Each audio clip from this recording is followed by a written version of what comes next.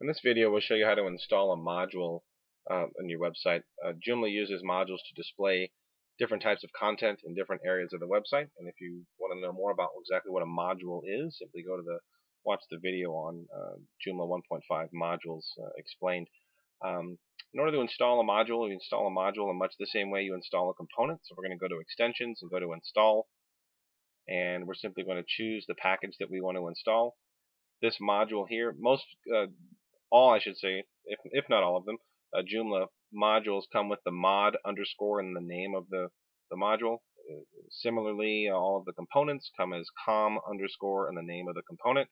So this is the uh, this is an ad administrative module for the Akeeba backup uh, component that we installed earlier. Uh, so we select it and we simply hit open, and then we hit upload and browse.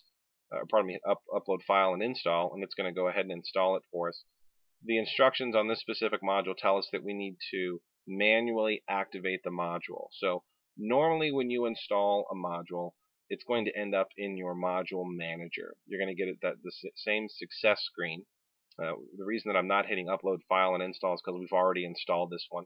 Uh, our success screen tells us that we need to um, manually activate it. So we're going to have to go into the module manager and because this is an administrative module, we're going to go click on Administrator.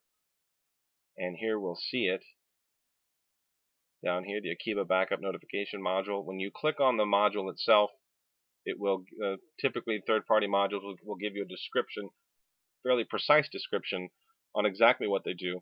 Uh, and typically there'll be some instructions on how to use them as well.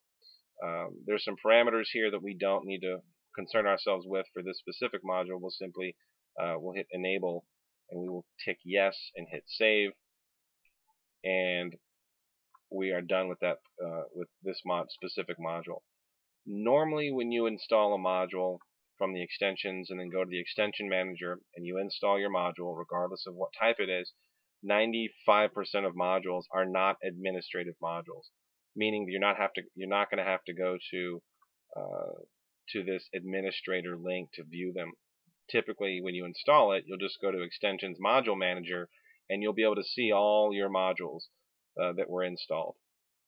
And um, so that's how to install a quick module uh, and where to find it after you install it. And uh, in future videos, we'll show you how to configure uh, specific modules and how to place them throughout your site. Hope that was helpful.